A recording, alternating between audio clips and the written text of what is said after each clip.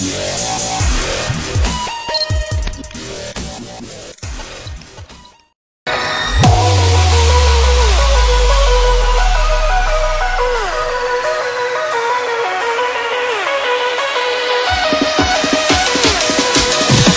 our 2017 Best Driver's Car Champ, give it 710 horsepower trim 198 pounds from the overall weight, add the latest generation of Ferrari's acclaimed vehicle dynamics software, overlay it all with aerodynamic tricks learned in the white-hot cauldron of Formula One racing, and what have you got?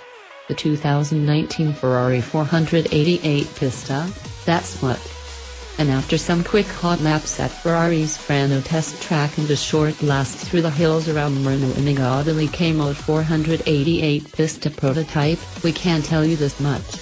The best just got better. The 488 Pista is the latest in a line of race-flavored mid-engine Ferrari road cars dating back to 2004's 360 Challenge Stradale, and this is the most extreme of the lot.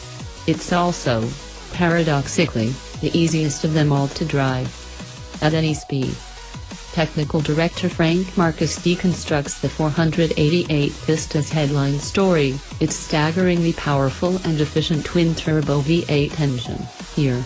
And we gave you the lowdown on the car's other tech highlights after its debut at the Geneva show.